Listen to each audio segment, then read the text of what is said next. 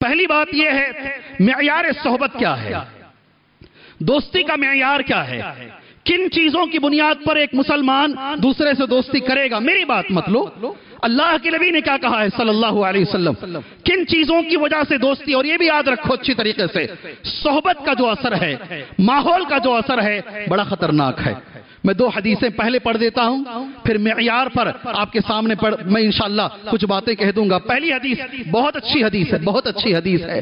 وہ حدیث جو آپ نے بھی سنا ہے، آج میں نے اس کے الفاظ نوٹ کیے ہیں، مجھے بڑے اچھے لگتے ہیں یہ الفاظ۔ اس لیے میں نے نوٹ کیے ہیں، سبحان اللہ۔ وہ آدمی جو قاتل ہے مرڈر کرتا ہے اور زندگی بھر قتل کیا ہے، آپ سبھی لوگ جان رہے ہیں، ماشاءاللہ۔ چہرہ بھی ہلا رہے ہیں۔ نوت پر نو قتل اس نے کیے ہیں۔ یہاں دو باتیں ذہن میں رکھو، عربی میں میں لفظ پڑھوں گا تمہارے سامنے، انشاءاللہ۔ اس نے آ کر ایک عابد سے سوال کیا، عابد سے، عابد، غور سے سنو میرا لفظ۔ عالم نہیں، عابد عابد عبادت کرنے والا، کیا میرے لیے توبہ ہے؟ اس نے کہا نوت پر نو کو تو نے مارا، توبہ کا تجھے بھی مارا اور سو مکمل کر دیا، سنچوری کمپلیٹ۔ سبحان اللہ عابد بھی گیا۔ سوال عابد سے نہیں کیجیے۔ عابد عبادت کرنے والا وہ لائق سوال نہیں ہے۔ عالم سے پوچھئے۔ پھر اس نے آ کر عالم سے پوچھا، تو عالم نے کہا میں یحول بینک و بین، کون بیچ میں آ سکتا ہے؟ تیرے اور توبہ کے بیچ میں تو توبہ کر، تیری توبہ قبول ہوگی۔ مگر ہاں یہ لفظ ماحول کا اثر یہاں ہے۔ میں نے نوٹ کیے ہیں لفظ بڑے اچھے ہیں۔ اللہ میرے بچے کو، اللہ میری امت کے سارے بچوں کو، نوجوانوں کو اللہ اس پہ عمل کی توفیق عطا فرمائے۔ ماحول کا اثر، نبی نے لفظ استعمال فرمایا، انطلق الى ارض کذا و کذا۔ انطلق الى ارض کذا صحیح مسلم کی حدیث ہے. انطلق الى ارض کذا و کذا اگر گناہ چھوڑنا ہے، قتل سے باز آنا ہے، یہاں سے نکلو پہلے۔ یہ زمین چھوڑو۔ انطلق الى ارض کذا و کذا فلاں گاؤں کی طرف چلے جاؤ۔ کیوں جاؤ؟ حدیث کا لفظ ہے۔ فَإِنَّ بِهَا أُنَاسًا يَعْبُدُونَ اللَّهَ تَعَالَى۔ اس گاؤں میں کچھ لوگ رہتے ہیں، اللہ کی عبادت کرتے ہیں۔ اچھے لوگ ہیں۔ تم جاؤ گے، سو لوگوں کو تم نے مارا ہے۔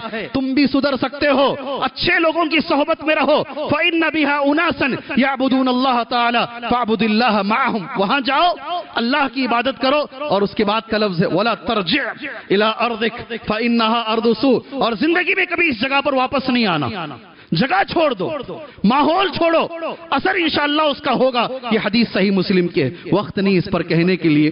مسجد نبوی میں بیٹھا ہوں میں۔ شیخ سلیمان الرحیلی حفظہ اللہ۔ بہت بڑے عالم ہیں۔ عبدالرزاق البدر، میں نے دونوں سے سنا ہے۔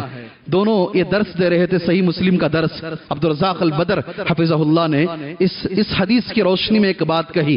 دل کو چھو گئی بات مجھے۔ وہ آدمی وہاں سے نکل گیا۔ صحیح مسلم کی حدیث ہے۔ جگہ چھوڑ دیا۔ اور ایک جگہ پر پہنچا، وہاں اس کی موت آ گئی۔ پہلے اس کے پیر گرے۔ میں ایڈریس دے رہا ہوں، شیخ سلیمان اور شیخ عبد الرزاق البدر حفظہم اللہ۔ ان کے درس مسجد نبوی میں میں نے بیٹھ کے ان سے کے درس سنا ہے۔ پیر گر گئے پہلے اس کے۔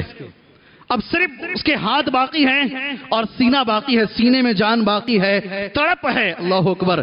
تڑپ ہے نیک بننے کی، تڑپ ہے اچھا بننے کی۔ وہ جو زمین ہے، اس کی طرف اپنے آپ کو کھینچ رہا ہے۔ سینے سے جتنا کھینچ پایا، وہ صرف اتنی ہی جگہ تھی، ایک بالش انگوٹھے سے لے کر یہ آخری انگلی، اتنا سینے سے گھسیٹ پایا اپنے آپ کو۔ بے صدر ہی اپنے سینے سے کھینچا۔ آپ سبھی لوگ جانتے ہیں دونوں فرشتے آئے جنت کے بھی اور جہنم کے بھی۔ زمین ناپی گئی، یہ ایک بالش زمین اس قریے کی طرف تھی اور فیصلہ جنت کا کیا گیا۔ سبحان اللہ۔